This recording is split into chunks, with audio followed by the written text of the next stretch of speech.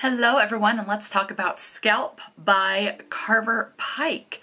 I read this digitally so of course you're seeing a um, image there and I gotta say I look forward to reading more books from this author because I found this entertaining and awesome. So Scalp by Carver Pike. This was published in 2020 and this is a standalone adult horror. There was an audiobook available on Audible, and it was narrated by Rue Farrow and is 10 hours and 11 minutes on standard one time speed. This book takes place in Clydesville, West Virginia, and is told in third person. So, what is Scalp about?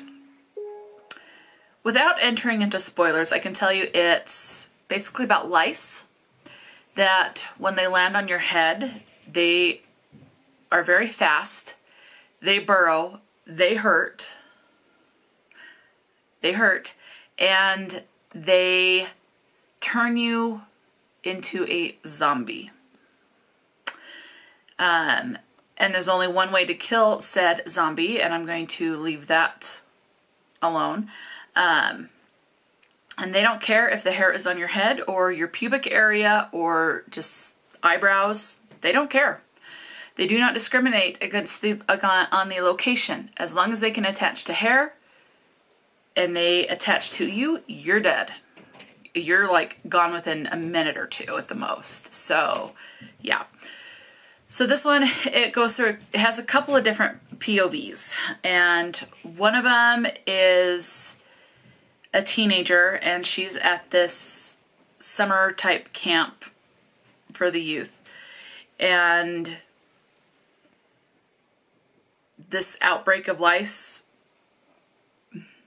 you know, it's they also don't discriminate against species. So you have zombie like deer and bear and that. Obviously fish don't have hair, so they're safe. Um, birds don't have hair, so they're pretty much safe. so, uh, yeah. Um, but anything else, you're you're you're dead. Um,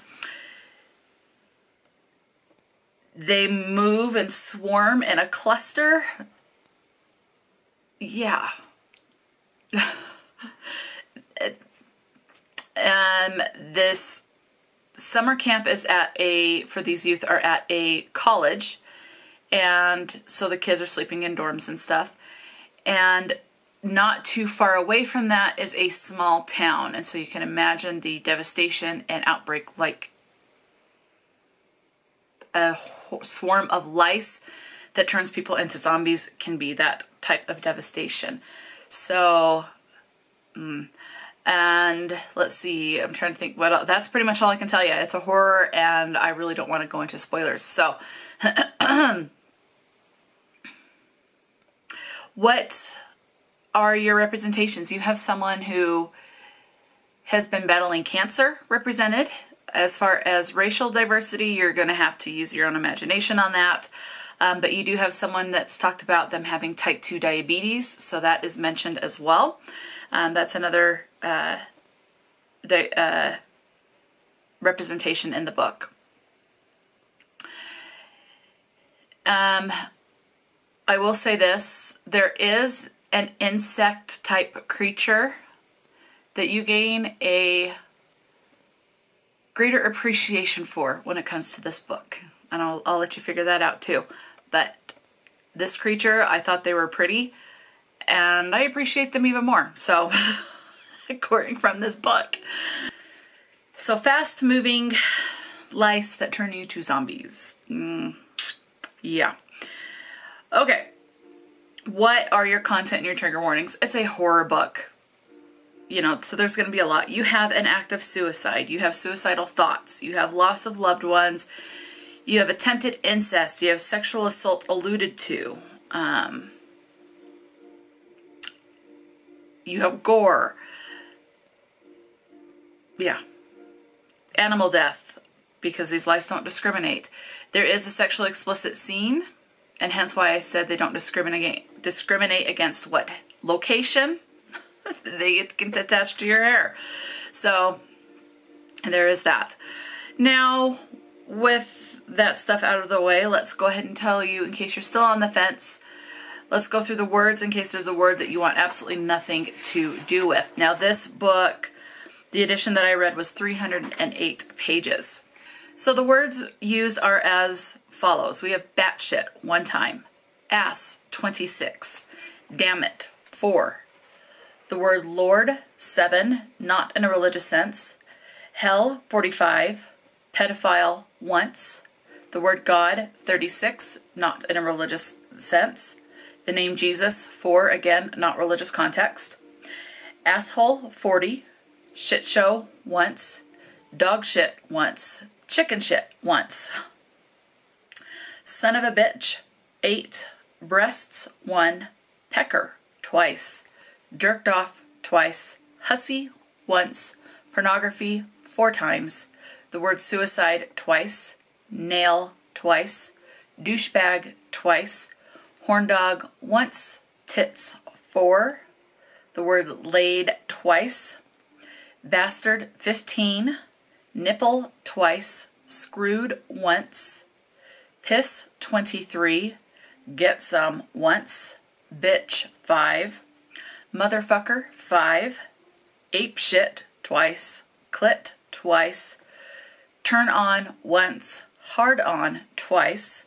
Felt up once cock, four, pussy, seven, hump, once, mound, three, nub, once, hard, once, wet, twice, orgasm, three, dick, four, abortion, once, road, once, get off, once, tight, once, bullshit, twice, badass, four, hornball once, erotic once, orgy twice, virgin three times, wood once, boner once, god awful three times, erection once, goddamn four, smartass once, hellbent four, balls three, jackass once, God knows what once,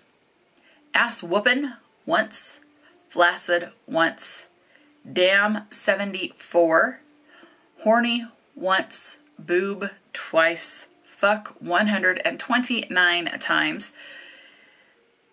And I would definitely be letting that fly in this situation. I totally would. Uh, shit 70, anus once, prick once, dumbass once, arouse once, and skank once. So those are your word usages. Um, so in case that sways you to allow yourself to pick up the book or say, mm, not for me. Uh, yeah, let me know. Have you read anything by uh, Carver Pike? I will definitely be picking up more of this author's work.